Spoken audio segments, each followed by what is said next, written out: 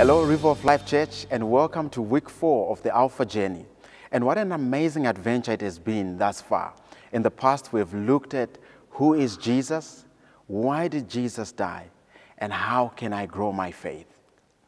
And as we continue, we have just been so amazed with the feedback that we've received from all our Alpha small groups, how people are growing in relationship together, how the discussions and participations have gone, and just how God is building a community around us.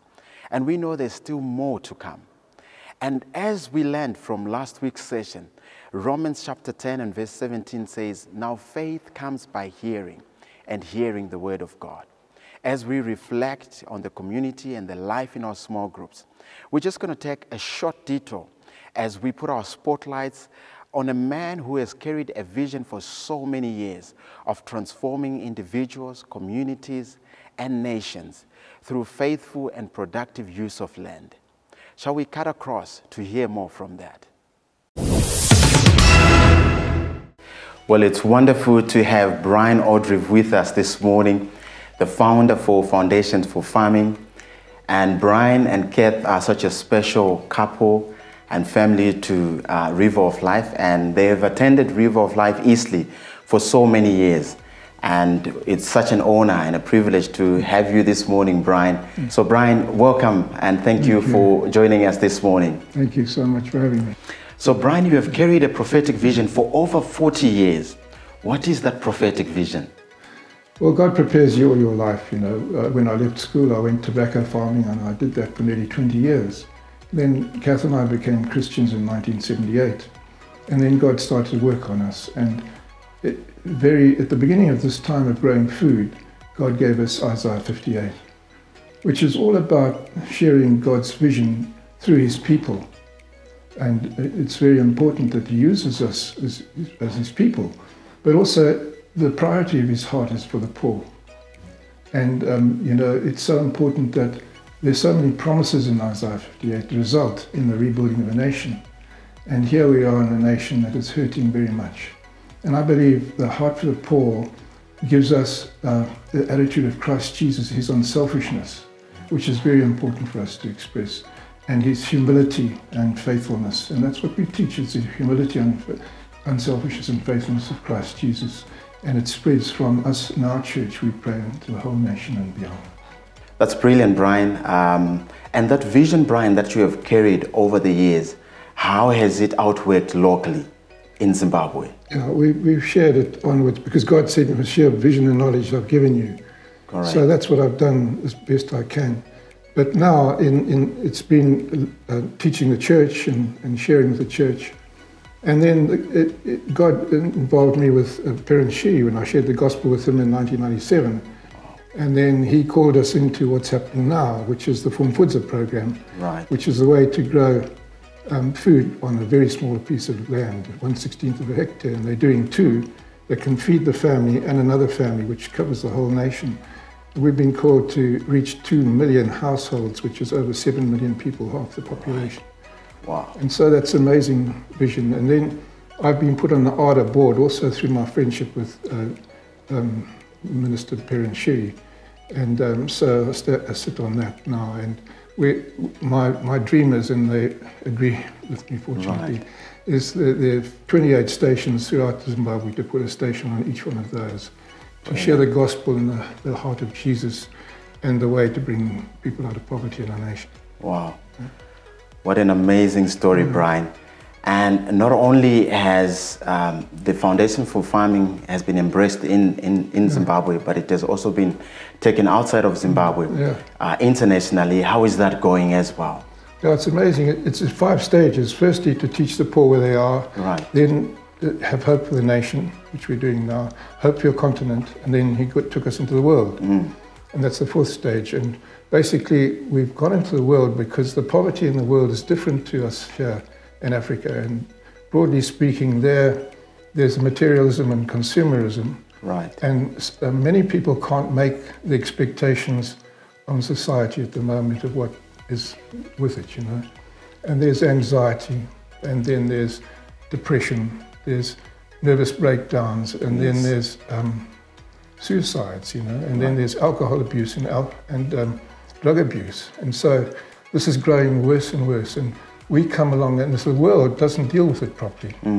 Because they just give them Prozac and give them things, but it doesn't help their hope and their self-worth. And we discovered on Lord Goring's farm, who he gave us five hectares near Brighton, near Worthing. And we shared there how to, to grow for the broken ones, the broken ones of this world. And they grow a beautiful bed of vegetables, so straight and beautiful. And then they do it in community together. They become, they feel self worth. And in that time, we share the gospel with them too. Wow. And so we, that's spreading throughout all five continents now. Oh, that's brilliant. Well done, Brian. And I think that vision that you have mm. carried, we see how it's outworking not only in communities, but in nations now, and it mm. has been well embraced. And Brian, mm. at this particular time, I would really love you to pray for us, to pray for the church, um, so that we can rally behind this, this vision and really uh, embrace what God has taught through you and through this vision. Would you pray for us as a church and to give us a charge um, as a nation as well? With pleasure, Mosh. Mosh. Oh, thank you, Father, for your presence with us. Yes, Lord. And Father, I just thank you for River of Life. And I thank you for this Alpha course, Lord God, that is centering us on Jesus and his love for us and love for others. And the centrality of Jesus is so important, and I thank you for this church that has always put that. And I thank you for my friendship with Scott over the years, Lord Yes, God, Lord.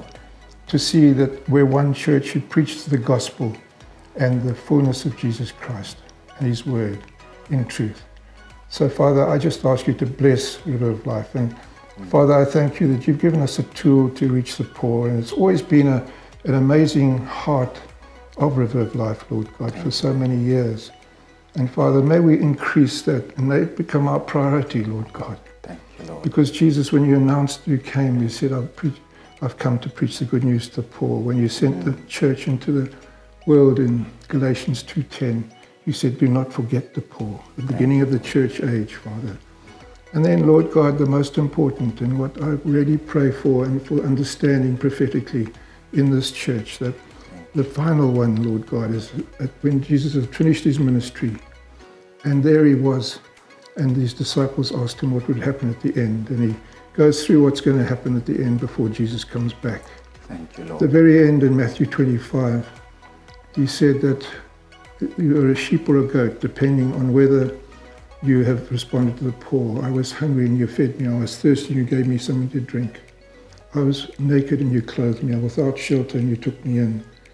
I was in prison and you came and saw me. And I was sick and you helped me. Thank you, Father, I pray that we'll prioritize your heart for the poor because we must be ready to face Jesus on that great day. Everything in Scripture points to that great day mm. when we'll answer to you, and the heart for the poor is the criterion, as whether we come and live with you forever or depart from you forever.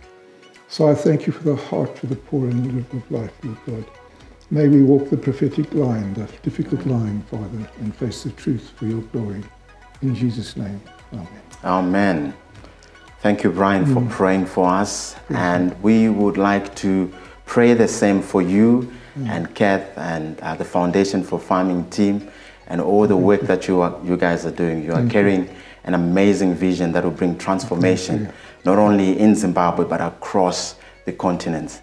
And we pray that this vision would continue to grow and to explode in the mm. hearts of people. Mm, and we are just so chuffed for what mm. God is doing through you. You are a blessing to us and to the nations. And we can celebrate and say, let the nations be glad. Amen. Because God is doing an amazing work through us. Amen. Thank you so much, Brian. It was Bless you. amazing having you here. No, it's been wonderful to be with you. Thank you. Absolutely. Well, it's brilliant to hear from Brian and what God is doing through Foundations for Farming. And we've just seen how God has used Foundations for Farming to cut across nations and to bring transformation across the globe. And I just love being a part of a church that has embraced and invested itself in God's vision and promise. And as we continue to look at community and what's happening in River of Life and even beyond, next week we have Dr. Dumi and Tokozo Ndlovu who are going to give us an update on COVID and some of the vaccines options available to us. And right now, we're going to cut across to our Alpha session Why and How Do I Pray? I trust that you're going to have a blessed time together in your small groups and have wonderful discussions. And we look forward to seeing you next week. God bless you. Growing up, I was a reluctant prayer, despite being surrounded by prayer. At school, we had prayers in assembly, which everyone recited off by heart. But to be honest, most of the time, none of us had a clue what we were praying about. At home, my family prayed for everything lost pieces of Lego, parking spaces, meal times, except for some reason, breakfast. I never really knew why. I just thought maybe God wasn't an early riser. The only time I used to choose to pray was when I was in trouble or when I needed help.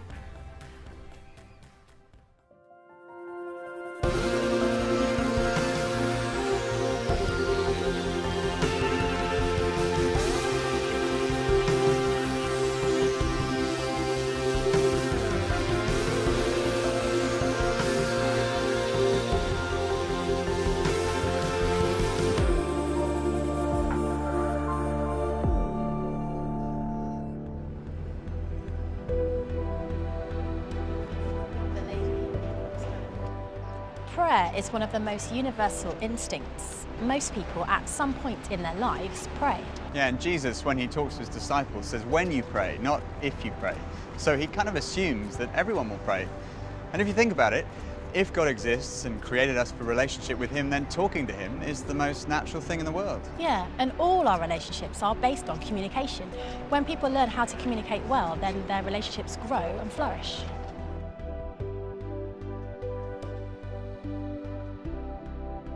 Every day. Twice a week. Yes, a lot. No, I don't.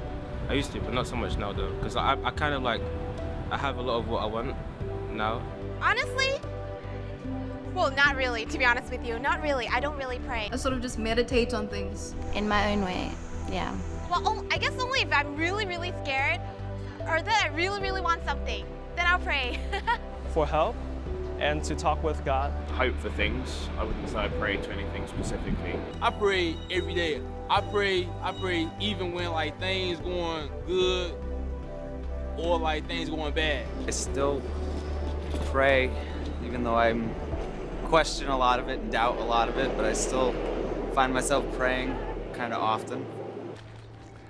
Before I was a Christian, I can remember one time. It was in my gap year between school and university. I was 17 years of age, and I was traveling around the United States on a Greyhound bus with a, a Rover ticket. And I lost all my luggage. It was stolen. My rucksack was stolen with all my clothes and my money. All I was left with was my passport and my Greyhound bus ticket. I went and spent 10 days living on a hippie colony in Key West, and then I started to travel 500 miles every night. I used the Greyhound bus as my hotel. I'd get on at night and sleep 10 hours, wake up 500 miles away in another city, and spend all day walking around that city on my own. And I was so lonely. And eventually, although I was an atheist, I prayed that I would meet someone that I knew. And the following morning, I got on a bus in a remote place in Phoenix, Arizona, and I saw someone I knew, an old friend from school called Andy. And I just said, I don't believe it. Andy's still a friend of mine, and whenever he sees me, he goes, I don't believe it. He lent me some money, and apparently I spent it all on socks. I didn't really make anything of that. I just put it down to a coincidence. But in the last 40 years, prayer has become the number one priority in my life. Not that I'm an expert in it, I still find prayer pretty difficult. When I start to pray, all these distracting thoughts, my mind wanders all over, over the place. And often, just in the busyness of life, I find it really hard to find time to pray. But I love praying. Why is that? Well, prayer is the most important activity of your life. In fact, it's the very purpose for which you were created, because you were created for a relationship with God. And how do you communicate in this relationship? By prayer. And if you love someone, you want to spend time with them, you want to communicate with them, you want to grow in that relationship. And that's how we grow in our relationship with God. the Apostle Paul wrote, Through him, that is Jesus, we both, that's Jews and Gentiles, that's the whole known world at that time, have access to the Father by one Spirit, by the Holy Spirit. So Christian prayer is to the Father. Before I was a Christian, I, if I thought of God, I thought of a kind of autocratic judge or a cosmic policeman who was out to get me. Sometimes people say to me, I don't believe in God. And when they describe God, that's the kind of God they're saying they don't believe in. Well, I don't believe in that kind of God either. I believe in the God who Jesus described when he said that we were to pray, Our Father in heaven. Jesus taught us to address God, and he actually taught us to use an Aramaic word, Abba, which is still used by children today in the Middle East. Daddy, Papa. It's a, the most intimate word that you can use to a father. And Christian prayer is like that it's to the Father who loves you. My mum had MS, so she was really ill when I was growing up. I didn't really know life without her having MS. But besides that, my parents were like the best to me. They were they would do anything for me. But I wasn't the best kid. I am now. Like now I'm the best. But uh, before when I was a teenager, I I would just lie and I would be rubbish in school. I wouldn't be like the violent kid or it wouldn't be like obvious. Like some kids get into gangs and selling drugs. I I was like way too smart. Like I just like causing trouble that you couldn't get caught for. And over a period of time, I started to realize how you could steal without getting caught. One day coming back from the, the cinema, I remember walking through the door and my parents were sat at the dinner table and was like, Alex, we need to talk to you. And basically what happened is like I just stolen money from their bank account and they found out. And so I ran upstairs into my room. I just remember feeling like I hate myself. Not even like who had I become. No, it wasn't like that sort of moment. It was more I'm rubbish. Like, I'm just a bad kid. And so I piled my entire room against my door. Like I got my bed, my drawers on my bed, everything, and then piled it up and then just sat at the other end of this barricade. It was silent for a bit and I, I was crying and I just, my dad comes up the stairs. He knocks on the door and I just don't say anything. And then he stops and is like, okay, I'm gonna go. But he said this thing, which I'll never forget exactly what he said. He said, I need you to know that me and your mum love you. We're just confused because we don't know what we haven't done for you. And then he, he just said, I'd love it if you opened the door because I really want to give you a hug right now. And then, like a few years later, I don't know what I was thinking about, but I was just thinking about that moment. I realized like that's the, like one of the most real examples of who God is that I've ever seen in my life. Just, just sort of that begging to come and show mercy. My dad's just the best.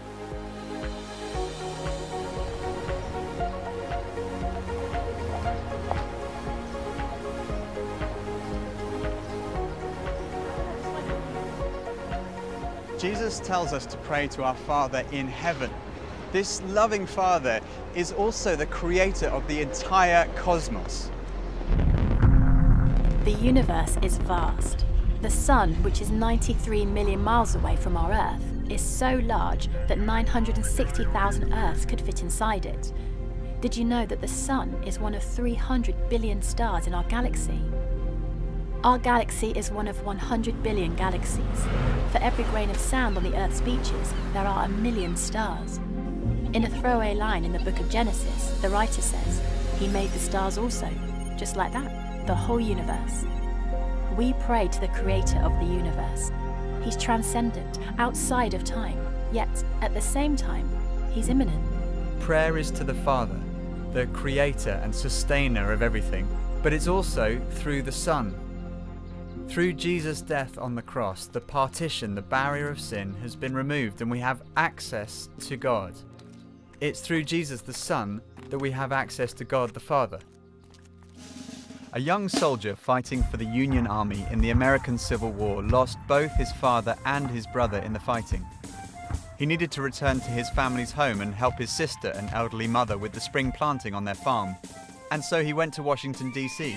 to ask the president for exemption from military service. When he arrived in Washington, he walked straight up to the doors of the White House and asked to speak directly with the president. A young official standing guard told him, You can't see the president. The president's far too busy to see you. Get back out there and fight like you're supposed to. So the young soldier left the White House, not knowing how he would break the bad news to his family. As he was sitting on a nearby park bench, a young boy came up to him and said, Why are you so unhappy? What's wrong?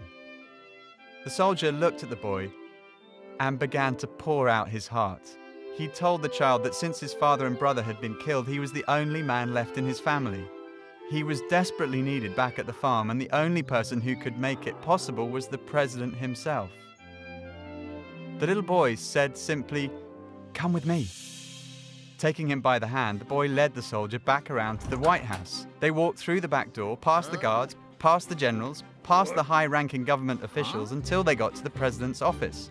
The little boy didn't even knock on the door, he just opened it and walked in. There, standing behind the desk, studying battle plans with the Secretary of State, was President Abraham Lincoln. The president looked up and said, Oh, what can I do for you, Tad? The little boy replied, Dad, this man needs to talk to you. Our Father. He's inviting us to share in the relationship he has with the Father. Not only do we pray to the Father through Jesus, but we pray by the Holy Spirit. In Romans 8:26, Paul says, "In the same way, the Spirit helps us in our weakness. We don't know what we ought to pray for, but the Spirit Himself intercedes for us. Sometimes people say, I wouldn't know where to begin. I, I wouldn't know how to pray. But when you invite Jesus into your life, He comes in by His Spirit. He lives within you. And when you pray, His Spirit helps you to pray, to communicate with God. And there are rewards to prayer. Jesus said, when you pray, go into your room, close the door, pray to your Father who's unseen, then your Father who sees what is done in secret will reward you.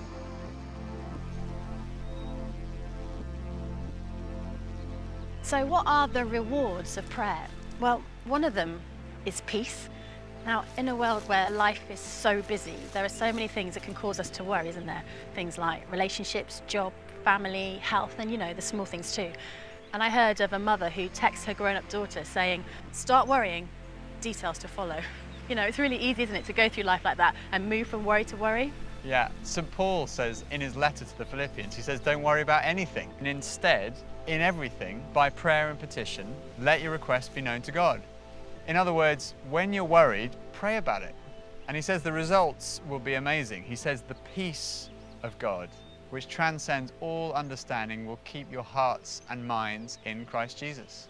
Yeah, but peace doesn't actually mean that there are going to be no troubles, problems, or hard work.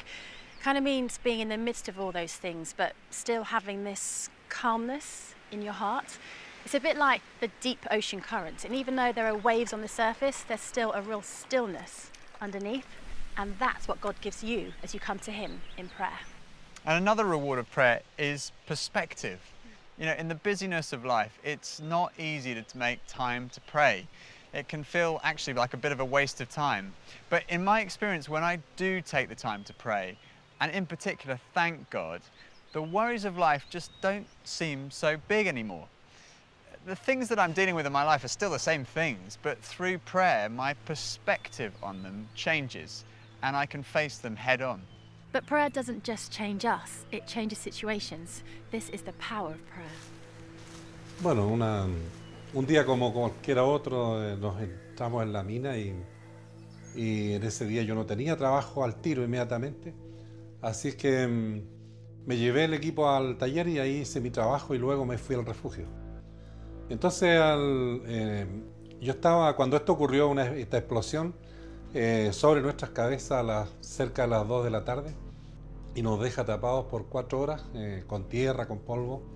Y de ahí luego discurrimos poder salir de ese lugar, alguna manera de escapar y realmente nos dimos cuenta que no había escapatoria de ese lugar. Dijimos la única posibilidad se llama Dios, se llama Cristo, Así que vamos a tener que orar aquí.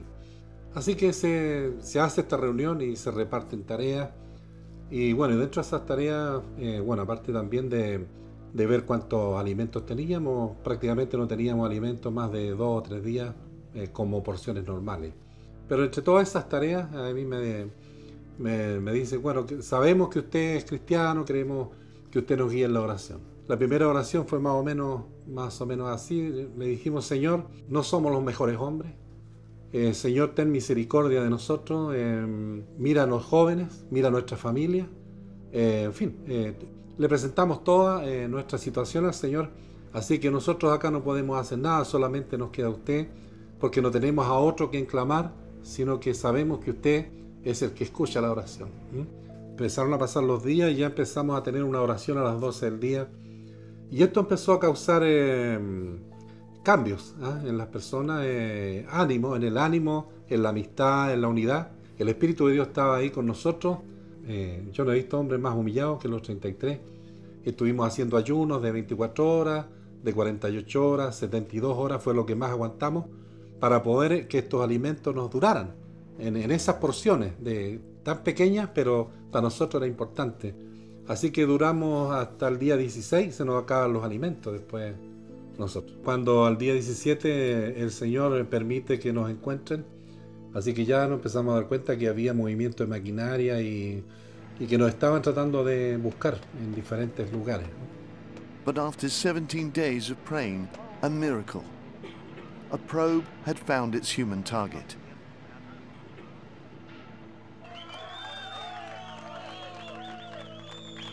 And then a simple note, proof they were all alive.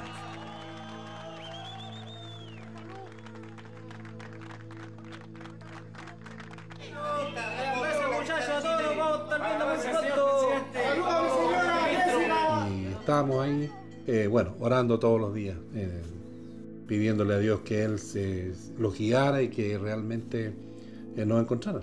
65 days after the collapse, and after 33 days of drilling, Igor's Plan B reaches the miners. Mencionar también que eh, 22 de ellos aceptaron a Cristo. Eso es algo bastante importante, creo yo.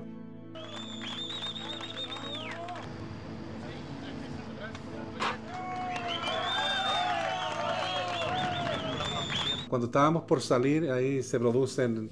Eh, eh, tuve que llamarlos a la oración, tuve que recordarles que nadie me sale de aquí hasta que no le demos las gracias al Señor. The last miner has lifted to the surface. This is the moment. This rescue has come to an end. An explosion of celebration and joy after more than two months trapped more than 2,000 feet underground. All 33 have been rescued. You can't prove the existence of God by answers to prayer. But I've found that stuff happens when I pray. It can be easy to dismiss answers to prayer as coincidence. But as William Temple, the former Archbishop of Canterbury, said, when I pray, coincidences happen. And when I don't, they don't. I sometimes find it helpful to use a prayer diary or to write down my prayers. What I actually do now is to write them down in the Bible. So I use this Bible in one year and I uh, write down the prayers each year. And then when I come back to read that same passage, I can see the prayers that I've written down and I can tick the ones that have been answered and I can reflect on those that are not. But prayer isn't like a kind of slot machine where you put in your prayer and you get the answer exactly when and how you want it. Prayer's about a relationship with God. A simple way to describe it is it's kind of like traffic lights. Sometimes you ask for something and you get a green light. You receive what you've been asking for, sometimes immediately. Sometimes it's a red light, and that means no. And I know for me, there have been times when the answer has been no. And when I look back, I am so thankful that God shut that door. Because, for example, if He hadn't, I wouldn't be doing what I'm doing now. He knew what was best for me. But there are times when it's not at all clear why the answer is no. And we may never understand the reason why. And that can be really hard. I think of an occasion some years ago when I was playing squash with one, one of my very best friends, Mick Hawkins. He just played a beautiful backhand drive, and as he turned to play the forehand, he just dropped dead of a heart attack. And I have never cried out to God more than I did in that moment. He has six children. The youngest was six, and the oldest was 18. And we had to tell each of these children it was the most painful thing. And it, it still is today the most painful thing for me. At five o'clock the following morning, I went out for a walk because obviously I couldn't sleep and I was praying, I crying out to God, saying, God, I don't understand why this happened. But I'm not going to stop trusting in you. I'm not going to give up praying. Corrie ten Boom said, When a train goes through a tunnel and it gets dark, you don't throw away the ticket and jump off. You sit still and trust the driver. Other times, it's like a yellow light wait. You pray for something and you don't receive what you've been asking for immediately, and you have to wait and trust. If a five year old asked to drive a car, you'd say no. But you don't mean never drive a car, you mean wait until you're old enough. Just because something isn't happening for you right now doesn't mean it won't happen. God's timing is perfect. I pray anytime, anywhere. I don't bow down on my knees and pray, but I do hope for stuff, and I think that's the same as praying. I pray when I want to talk to Him, um, when I feel like I need guidance. Every journal entry I write is titled like Dear God, which is kind of weird. Oh, really? But it is. And this is the book of prayers that I always have it on me. Giving thanks, mostly. When you pray with your family at meals, it's like, I don't know. I think I would prefer for it to be silent, a little quiet. It's like talking to anybody. You just, but you're talking to God. Be praying in my head, or sometimes just saying it out loud. I just sort of put the thoughts out there, put that idea out there, and then I go about my business hoping that things will just come together. I just chat to him like I'm ch- chatting to you right now. I'd say that there are three kind of um, tips when it comes to prayer to keep it simple, to keep it honest, and to keep it going. Um, to keep it simple means that uh, you have to make your prayer as simple as possible. Um, reduce it even just to one sentence. Um, can be sometimes five minutes, can be 10 minutes, can be half an hour. Then keep it honest. Um, we often think that we have to be uh, in a certain mood to pray. So that before starting praying, we have to be peaceful, we have to be joyful, or we have to be enthusiastic about the Lord. The reality is that the, most of the time uh, we are in completely different mood. Um, so we are either um, worried, or we are uh, tired, or we are frustrated about something, or we are angry about something. The secret is really to realize that each one of these feelings, even the most negative one, I'd say even anger, even lust, can become a fuel to prayer, can be transformed into prayer. When I start praying, I, I just focus on what is the dominant feeling in my heart. Uh, if it is a positive feeling, like joy, I offer this joy to the Lord. If it is a negative feeling, like um, frustration or tiredness, I start from there and I say to the Lord, Lord, I'm tired or I'm frustrated. Um, and I, I kind of express all the reasons of my frustrations to the, uh, frustration to the Lord, and I, and I transform them into prayer in this way. And then keep it going. We can pray all the time. I can pray uh, for the people around me. I can just um, say to the Lord very simply, uh, Lord, I love you, or Lord, help me. I can, um, in any situation, um, when I am in a church, when I am in my room, before going to bed, um, before meals, yes, but also when I'm walking, when I'm driving. Um, often I realize I'm praying even without having decided to pray, um, just because it has become a kind of habit. So keep it simple, uh, keep it honest, keep it going. Over the course of my Christian life, I've prayed in lots of different ways, and sometimes it's really useful to have a guide to help you to remember what to pray for. And some people use the prayer that Jesus taught, the Lord's Prayer, as a model. Something I found really helpful a friend once told me was just remember three words thank you, sorry, and please. So, thank you means trying to cultivate a kind of attitude of gratitude, um, praising God for who He is, thanking Him for all that He's given.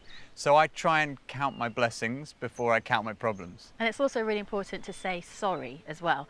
Um, I once heard of this prayer, which was So far today, God, I've done all right. I haven't gossiped or lost my temper. I haven't been greedy, grumpy, nasty, selfish, or overindulgent, and I'm glad about that. But in a few minutes, God, I'm going to have to get out of bed, and from then on, I'm going to need a lot more help. I always find that there's plenty of things to confess. The question often arises well, why do we need to confess our sins at all? I mean, Jesus died on the cross for us. Surely He's forgiven us everything. You know, why did Jesus need to say, forgive us our sins when we're forgiven already? Well, Jesus gave us this visual aid. Mm, the night before Jesus was crucified, he was having dinner with his disciples, and afterwards he took a towel and started washing the disciples' feet. But when he came to wash Peter's feet, Peter said, No, no, Lord, don't wash my feet. And Jesus said, Unless I wash your feet, you have no part of me. So Peter says, in effect, Well, in that case, why don't you wash my whole body? And Jesus says, No, no, no, you don't need to have your whole body washed. A person who's had a bath doesn't need another bath. All you need is to have your feet washed. So when Jesus comes into your life and you receive total forgiveness, it's like your whole body is washed. And you don't need to have another bath. You don't need to start all over again every time you mess up. But as we go through life, it's like we pick up bits of dirt on the way, and daily we need to receive forgiveness. And lastly, it's good to say, please. Jesus taught his disciples to pray, Give us today our daily bread. So praying for others and praying for ourselves. And anything that's bothering you is big enough to ask God for, and you can pray anytime, any place. And there are times when it's great to pray on your own, and other times it's really good to pray with others. I can remember the very first time I prayed with someone else. It was with two of our closest friends, Nicky and Sila Lee. I, I'd been a Christian for about two or three weeks, and I was on holiday with them, and I think it was Sila who suggested, let's try praying together. So we prayed probably for about two minutes with quite long pauses and gaps in those two minutes. At the end of it, my shirt was wringing wet with sweat. I'd been so nervous just praying out loud for the first time. But it was a wonderful experience.